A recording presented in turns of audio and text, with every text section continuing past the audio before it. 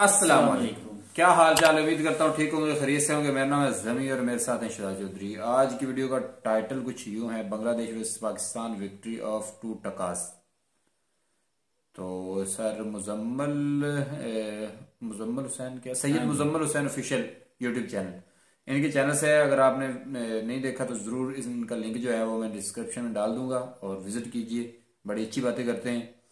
Video शुरू करने से पहले हमारी आपसे रिक्वेस्ट है कि अगर आप चैनल पर नया तो चैनल को लाइक करें शेयर करें सब्सक्राइब करें और बेल का आइकन दबाना मत करें शुरू करते हैं लेट्स स्टार्ट तो दो टके का इंसान, दो टके की औरत, दो टके का आदमी, ये वो मुहावरा है जो कि हम उर्दू और हिंदी में इस्तेमाल करते हैं किसी भी चीज़ को डी वैल्यूड और घटिया कहने के लिए। और मज़े की बात यह है कि ये जो टका था ना, ये आज 1.84 रुपीस के बराबर हो चुका है, यानी कि आपका रुपया जो है ना वो इस दो टके से आधा हो चुका है।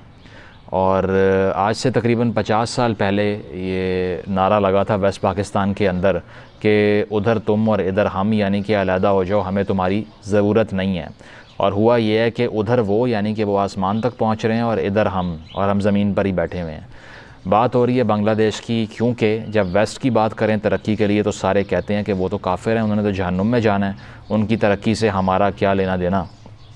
तो इसीलिए आपके बिछड़े हुए भाई की मिसाल इस्तेमाल कर लेते हैं कि ऐसा क्या उन्होंने किया है कि आज दुनिया उनकी तरक्की की मिसालें दे रही है। आज से तीन चार दिन पहले की बात है कि न्यूयॉर्क टाइम्स जो कि दुनिया का बेस्ट आर्ग्यूएबली एक अखबार है, वो लीड स्टोरी लगा रहा है कि जो बाइडन जो कि अमेरिका का प्रेसिडेंट है, अमरीकी सदर है, अगर उसने सीखना है कि गुर्बत कैसे ख़त्म करनी है तो बांग्लादेश से सीखो। ऐसा क्या हो गया है? इन पचास साल के अंदर ही, जो हमसे सत्तर साल में नहीं हुआ, कि अमेरिका के अखबार, अमेरिकन प्रेसिडेंट को कह रहे हैं कि तरक्की करना बांग्लादेश से सीखो। और यही देखने के लिए आज ज़रा बात कर लेते हैं। तो बात यह है कि जब बांग्लादेश बनता है तो हेनरी किसिंजर, जो कि वज़ी ख़ारजा, यानी कि फ़ॉरेन मिनिस्टर था फ़ॉरेन सेक्रेटरी था अमेरिका का, उसने कहा था कि ये तो बास्केट केस है। शदीद गुरबत होगी यहाँ पर और इनको लोन ले ले कर चलना पड़ेगा। और फिर नाइनटीन नाइन्टीज़ में वहाँ पर साइक्लोन्स आते हैं, लाखों लोग मर जाते हैं। और दुनिया कहती है कि यहाँ फैमिन ज़ाया करेंगे, इनका तो कोई मुकद्दर ही नहीं है। लेकिन नाइनटीन नाइन्टीज़ के बाद एक ऐसी स्पीड पकड़ती है उनकी इकॉनमी कि 2006 में पाकिस्तान को सरपास करना शुरू करती है और आज वो दुनिया की फ़ास्टेस्ट ग्रोइंग इकॉनमीज़ में से एक बन चुकी है। ऐसा क्या उन्होंने किया है? इस पर तो बात बाद में करेंगे, लेकिन पहले एक कंपैरिजन कर लेते हैं ईस्ट पाकिस्तान का और वेस्ट पाकिस्तान का। तो ये कंपैरिजन आपके सामने है बांग्लादेश की जो पर कैपिटा इनकम है वो दो हज़ार चौंसठ dollar two zero six four dollars और पाकिस्तान की एलेवन थर्टी यानी कि तकरीबन आधी है उससे। फिर पेंडेमिक के दौरान जीडीपी ग्रोथ की अगर बात करें तो वो 5.2 है बांग्लादेश का और पाकिस्तान का 0.4 रहा। याद रहे कि पेंडेमिक से पहले 8.2 था बांग्लादेश का, जो कि चाइना से भी ज़्यादा है। रिज़र्व्स की बात कर लें 42 बिलियन डॉलर्स के रिज़र्व्स, पाकिस्तान के 20 बिलियन डॉलर्स के, यानी कि उससे आधे। Average life time life expectancy की अगर बात करें तो वो 72 ईयर्स पर है। बहत्तर साल जो है वो एवरेज लाइफ एक्सपेक्टेंसी है और पाकिस्तान की 67 ईयर्स है, बांग्लादेश की, इंडिया से भी ज़्यादा है। चाइल्ड मोर्टालिटी रेट में भी आधे का फ़र्क है पाकिस्तान और बांग्लादेश में। प्राइमरी एजुकेशन की अगर बात करें तो ये तो इमेक्यूलेट है 98 परसेंट बच्चे प्राइमरी एजुकेशन हासिल कर लेते हैं। पाकिस्तान में सेवेंटी टू परसेंट का फिगर है और वो भी कितना ट्रू है वो आपको बेहतर पता है। तो आप सोचेंगे कि ना उनके पास इस्लामिक एटम बम है कि उन्होंने पूरी दुनिया पे हुक्मरानी फिर कैसे करना शुरू कर दी? फिर आप ये सोचेंगे कि ना उन्होंने ये कहा है कि हमारा रवायात हमारी दुनिया की नंबर वन है और हम तो ऐसी चीज़ हैं कि हमारे से बड़ी किसी के पास डिफेंस की कुत ही नहीं है। और इसके साथ साथ हम तो पूरी दुनिया को बर्बाद कर सकते हैं। हमने तो अपने नेबरिंग कंट्री के अंदर जब सोवियत यूनियन आई थी, हमने तो उसको उड़ा के रख दिया था। हमारे आगे दुनिया क्या है? वो और बात है कि हम आई से हर साल भीख मांगने चले जाते हैं बाद में। और, लेकिन आपको ये सवाल दिमाग में आता होगा कि ये सारा कुछ तो मिसिंग है उनके पास। तो फिर वो कैसे इतनी तरक्की कर गए हैं? ना उनको हम सायों का खौफ है, ना कुछ और है। ना उनसे कोई किसी की जंग होती है आके, ना कोई लड़ता है उनसे। इसकी क्या वजह है? तो तरक्की फिर उन्होंने इस तरह की है कि न्यूयॉर्क टाइम्स के मुताबिक और और लोगों के मुताबिक सिर्फ़ एक राज है उनकी तरक्की का, और वो है वुमेन एम्पावरमेंट जिस पे हम यहाँ सार पीट पीट के पागल हो गए हैं ना, कि ख़वातीन को एम्पावर करो, उनको नौकरियाँ दो, उनको हकूक़ दो, उनको मॉडर्न इकॉनमी में इंटीग्रेट करो, उनको तालीम दो, ताकि वो एक लिटरेट और बाशूर कौम को जो है ना, वो उनकी परवरिश करें। लेकिन यहाँ पर सारे ये कहने आ जाते हैं कि ये तो फाशी फैल रही है। और अगर वुमेन एम्पावरमेंट की बांग्लादेश में बात कर ली जाए तो इस टाइम बांग्लादेश के हाई स्कूल्स के अंदर ख़वातीन ज़्यादा हो चुकी हैं मर्दों से। इतनी तालीम दी है ख़वातीन को अपनी। उसके अलावा जो बड़ी बड़ी एन जी ओज़ हैं, ग्रामीण बैंक और ब्राक जैसी एन जी ओज़ उन्होंने ख़वातीन को एम्प्लॉयमेंट फ़राहम की, उनको घरों से निकाला, नौकरियाँ दी उनको, जबकि हमारे यहाँ हमने तमाम एन जी ओज़ पे बैन लगा दिया नेशनल सिक्योरिटी का ठप्पा लगा के। और कहा यह कि ये जो एन जी ओज़ बाहर से आती हैं, इनका यहूदी एजेंडा होता है तो चूँकि एक लोकल ख़तीब ने कह दिया कि इसको बैन करो तो इसलिए इसको बैन कर दो। मैंने अपनी आँखों से हज़ारों अच्छी काम करती हुई एन को बैन होते देखा है। सिर्फ़ इस बिना पर कि ये हमारा कल्चर डिस्ट्रॉय कर रहे हैं। कल्चर हमारा क्या है कि ख़ातून भेड़ बकरी है। बच्चे पैदा करने की मशीन है, इसके अलावा उसका कोई रोल नहीं है। किचन में जाए, रोटी बनाए, बस, बात ख़त्म। इसके अलावा कुछ भी करेंगे तो वो वेस्टर्न एजेंडा है। तो बांग्लादेश ने ये नहीं सोचा और पता नहीं उनका कल्चर डिस्ट्रॉय क्यों नहीं हुआ कि वो इतनी इकनॉमिक ग्रोथ पर पहुँच गए हैं और रवायात भी उधर की उधर ही हैं नेशनलिज्म भी उतना ही है, मोहब्बत भी उनको अपनी कौम से उतनी है। पता नहीं क्यों नहीं उनका कल्चर डिस्ट्रॉय होता है इन चीज़ों से जिन चीज़ों से हमें इतना खौफ आता है कि हम बैन ही कर देते हैं उसको। उसके अलावा अगर बात कर ली जाए तो लाइफ एक्सपेक्टेंसी आपको पहले बताई, लेकिन बांग्लादेश के अंदर न्यूयॉर्क टाइम्स के मुताबिक education and empowerment of women is the pillar of the economy कि वो सतून बन गया, उनकी मुआशियात का, इतना उन्होंने ख़वान को एम्पावर किया और सिर्फ़ वही राज है उनकी तरक्की का। जबकि हमारे यहाँ 51 परसेंट पॉपुलेशन ख़वान यानी कि जो हैं, उसमें से नबे फ़ीसद घर बैठी हुई हैं। उनका रोल ही कोई नहीं है। एक बंदा बीस हज़ार कमाता है आके छः में डिवाइड हो जाता है, सब गरीब हो जाते हैं। और क्रिस्टोफर एचन्स भी कह चुका है और हज़ारों लोग कहते हैं कि दुनिया में तरक्की का, गुरबत ख़त्म करने का सिर्फ़ एक राज है, वो है वुमेन एम्प्लॉयमेंट किसी चैरिटी से कोई पनाह गाहें बनाने या लोगों में सालन रोटियाँ बांटने, जैसा कि वज़ी अजम इमरान खान साहब बांटते फिर रहे हैं। इससे कोई किसी का पेट नहीं भरता। पेट भरेगा तो वुमेन एम्प्लॉयमेंट से भरेगा, जो कि आप करने को तैयार नहीं है। क्योंकि आप इतना रिग्रेसिव कल्चर परवान चढ़ा चुके हैं कि ख़वान का रोल ही ख़त्म हो चुका है, उनका कोई फेस ही ख़त्म हो चुका है इकानमी से। इसके अलावा, बच्चे पैदा करने की अगर बात करें तो 1971 के अंदर एक बांग्लादेशी खातून के सात बच्चे थे ऑन एवरेज आज दो हैं। वो इस एवरेज को सात से दो पर लेकर आए हैं। पॉपुलेशन ग्रोथ को वन परसेंट पर रखा है। उन्होंने मेंटेन किया है। ये तरक्की का राज है। ये क्यों हो रहा है कि खातन बच्चे पैदा नहीं कर रही? क्योंकि वो काम कर रही हैं भाई। क्योंकि वो एक गोल परसू कर रही हैं, वो सिर्फ़ बच्चे पैदा करने की मशीनें नहीं हैं इसलिए, जबकि हमारे यहाँ पे आप ख़ुद पूछ लें कितनी ख़वातीन ऐसी हैं, जिनका कोई लाइफ में गोल है शादी करने के अलावा या बच्चे पैदा करने के अलावा, क्योंकि उन ख़वातीन का कसूर नहीं है। आपने दिया ही उनको ये है। आपने इतना कंडीशन किया है उनके ब्रेन को कि वो स्टॉकहोम सिंड्रोम का शिकार हो चुकी हैं और वो डिज़ायरस हो गई हैं इसी कल्चर में रहने की। तो ये बात है कि जब ये सारा कुछ हम देखते हैं तो वर्ल्ड बैंक कह रहा है बांग्लादेश के बारे में कि an inspiring story of reducing poverty और पूरी दुनिया में उनकी मिसालें दी जा रही हैं। तो ऐसा क्या उन्होंने किया? उन्होंने किया ये सब है। ख़वान को एम्पावर किया है। दूसरी चीज़ ये किया है कि मौलवी और जर्नैल की सियासत में मुदाखलत ख़त्म की है। तीसरी चीज़ ये की है कि उन्होंने सिक्योरिटी पॉलिसीज़ अपनी इतनी बड़ी नहीं रखी इकनॉमिक पॉलिसीज़ और ह्यूमन कैपिटल में इन्वेस्ट किया है। अब आप कहेंगे, हमें ख़तरा बहुत है, इसलिए हम बम बनाते हैं, इसलिए हम हथियार ख़रीदते हैं, दुनिया में टॉप टेन कंट्रीज़ में से एक हैं हथियार ख़रीदने के हवाले से। तो वो आप समझते नहीं हैं कि इसीलिए आप हथियार ख़रीदते हैं, इसलिए आपको ख़तरा है, क्योंकि आपकी एक अग्रेसिव फ़ॉरन पॉलिसी है। आपने इतनी इश्तियाल अंगेज़ फ़ॉरन पॉलिसी अपनाई है पिछले चंद सालों में कि इधर मुदाखलत कर उधर मुदाखलत कर इधर टांग अड़ा उधर नाक घुसा अपनी। उस वजह से ये हुआ है कि आपको एक बड़ा कैपिटल, अपना सारा कुछ सिक्योरिटी पॉलिसी पे लगाना पड़ गया है। और अब आर्मी चीफ़ ने भी कहा है पाकिस्तान के कि हम इन पॉलिसीज़ को रिविज़िट करना चाह रहे हैं, हम पीस चाहते हैं। लेकिन अभी भी ये जो सारे कीबोर्ड वॉरियर बैठे हुए हैं ना, ये अभी भी नहीं मानते।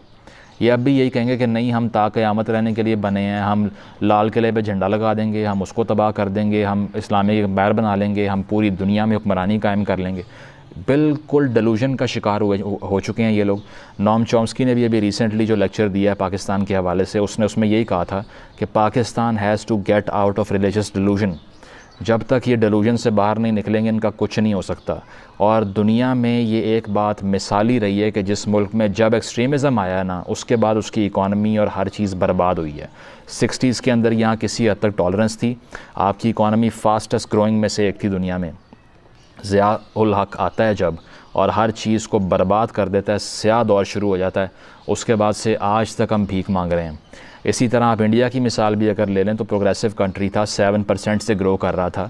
लेकिन मोदी साहब आए हैं और फंडामेंटलिज्म को उन्होंने आसमान पर पहुँचाया है और अब उनकी जीडीपी ग्रोथ पेंडेमिक में माइनस में गई हुई है।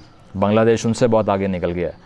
तो ये वो लेसन हैं जो हमने बांग्लादेश से सीखने हैं। बेशक बांग्लादेश में मसाइल बहुत से हैं कि वहाँ भी डिसेंट नहीं है, आज़ादी है ज़ाहिर राय पर पाबंदी है और वहाँ पर सियासी कैदी बनाए हुए हैं गवर्नमेंट ने, लेकिन कंट्री ग्रो कर रहा है क्वालिटी ऑफ़ लाइफ बेहतर हो रही है लाइफ एक्सपेक्टेंसी बेहतर हो रही है जॉब मार्केट बड़ी हो रही है इंडस्ट्री लग रही है। तो अगर आपने आगे बढ़ना है तो जो ख़वातीन की कॉज है ना, इसको रोकना बंद कर दें, क्योंकि ये 20-30 साल बाद आप जितना मर्ज़ी ज़ोर लगा लें, ये होकर ही रहना है। लेकिन अगर आप कॉपरेट करेंगे तो ये 20-30 साल कम होकर पाँच से दस साल भी हो सकते हैं। और ये डिपेंड करता है आपकी ओपन माइंडेडनेस पे। तो जब तक हम इस डिलूजन का शिकार रहेंगे कि ख़वातीन को अपने हकूक़ मांगना फाशी होती है एन जी ओ का काम करना यहूदी एजेंडा होता है, तब तक आप यहीं बैठे रहेंगे और दुनिया आपसे आगे निकल कर आसमान पर पहुँचती रहेगी। थैंक यू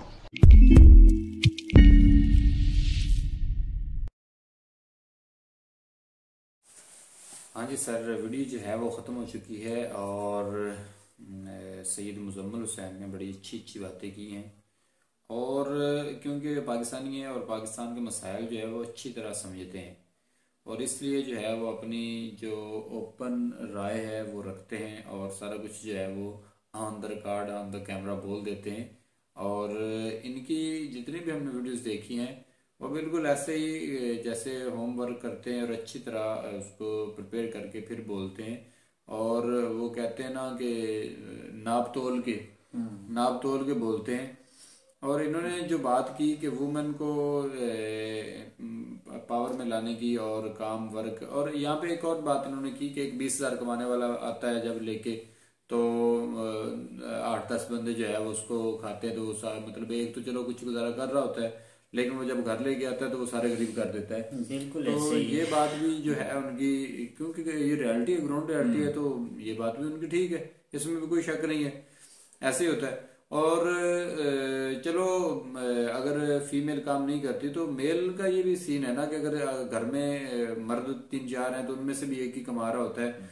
ये ज़्यादातर तो ऐसे होता है कि खुद से चाहते होते हैं कि सारे सब काम करें लेकिन आगे जो सूरत हाल है वो इस तरह की होती है कि वो काम नहीं मिल रहा है जिनको जो काम आता है वो है नहीं इंटरेस्ट नहीं बन रहा। बस अगर सांस देखते हैं कि सांस आ रहे हैं। बस ठीक है। बस हाँ, सांस आ रहा है। चलो यार कोई बात नहीं सांस तो आ रहा है। सांस तो आ रहा है बस ठीक है कोई टेंशन नहीं। वो गरीबी है कोई बात नहीं बैंक से पैसे उठा लेंगे और दो तीन मंथ निकल जाएँगे फिर बैंक को देना पड़ेंगे फिर कुछ कर लेंगे। तो इस तरह का ना मतलब जो पब्लिक है अब जो बैंक से उठाते हैं वो भी थर्टी फोर से थर्टी सिक्स परसेंट जो है वो होता है उस पर माल और लोग क्या कर रहे हैं कि अच्छा बैंक देता है कोई अपना बिज़नेस बनाने के लिए मतलब इस तरह का कोई, कुछ भी बिज़नेस के रिलेटेड देता है। ये नहीं कहता कि आप पैसे ले लो और जाके अपना जो है घर बना लो या इस तरह का कुछ कर लो या दो तीन मंथ जो है वो रोटी खा लो और हमें दे देना पाँच छह मंथ बाद या पर मंथ के हिसाब से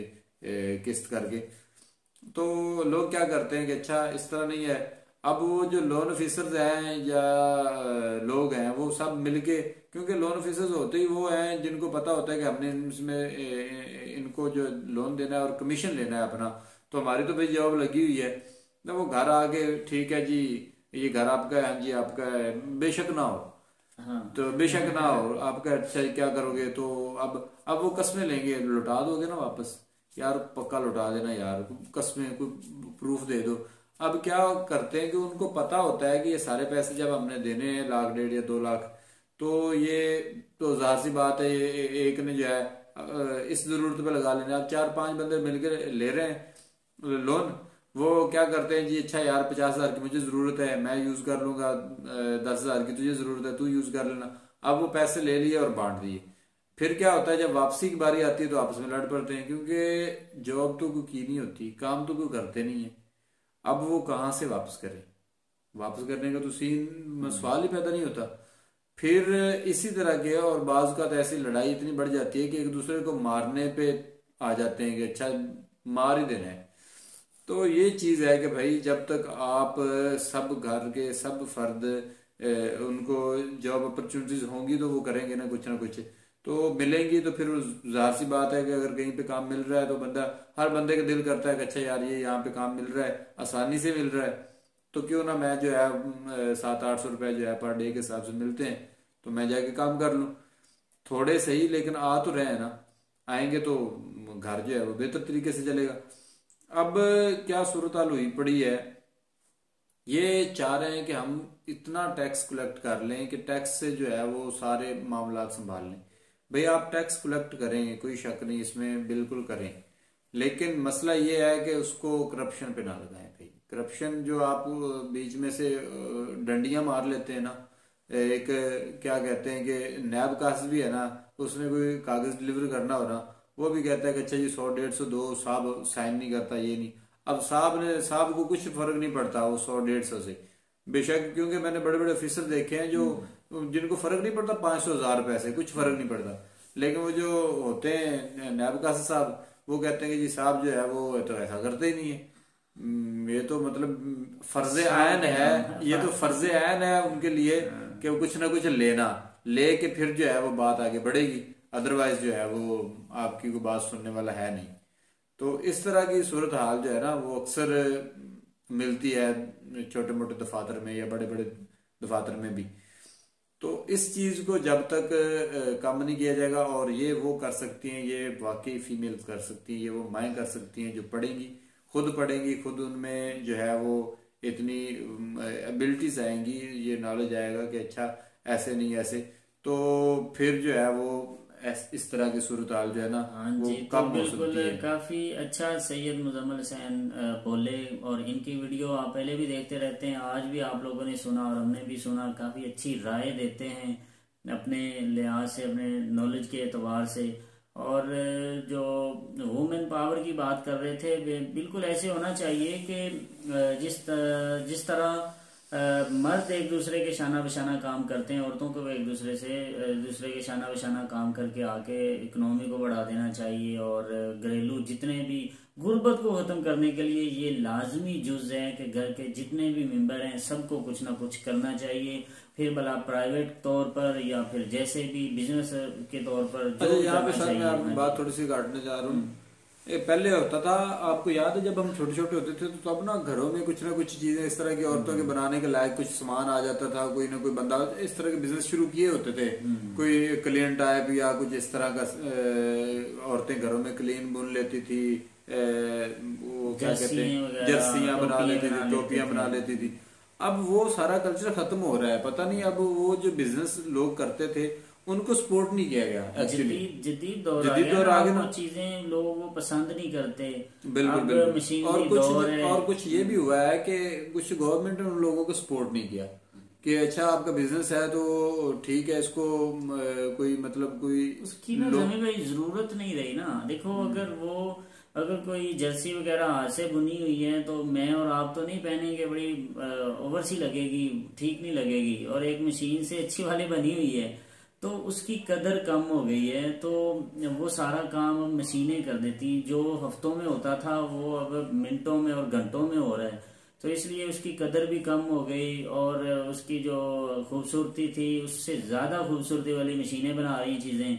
तो इसलिए अब वो चीज़ें इसलिए कम हो चुकी हैं। अब औरतों को घर से निकलकर इन मशीनों के ऊपर खड़ा होना पड़ेगा इनके ये भी बिल्कुल। तो क्योंकि इतनी बड़ी हाँ, मशीन घर में तो ला नहीं सकते ना। तो निकलना तो, पड़ेगा ये काम करने के लिए जॉब अपॉर्चुनिटी के लिए सारा कुछ होता है। तो सैयद मुजम्मल साहब ने बड़ी अच्छी बातें की।